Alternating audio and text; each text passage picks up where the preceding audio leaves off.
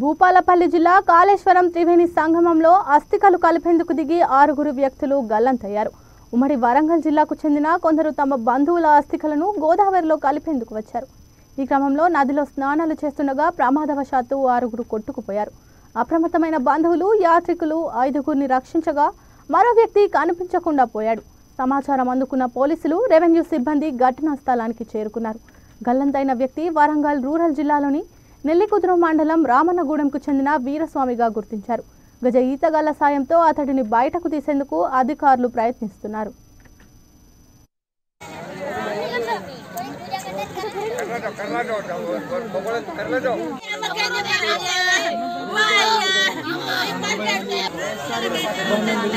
వస్తున్నామని లేచి లేచి